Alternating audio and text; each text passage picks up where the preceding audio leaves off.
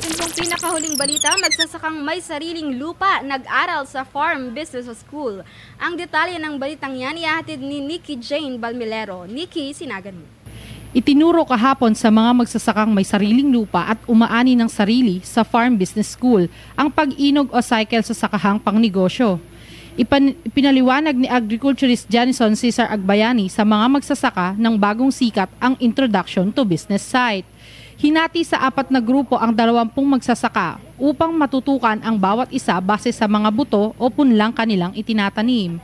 Ginaganap ang naturang pag-aaral tungkol sa pagbibenta ng mga pananim tuwing Miyerkules sa ganap na alas 9 ng umaga sa Barangay Hall ng Bagong Sikat. Nikki Balmilero, Sinag Patroller.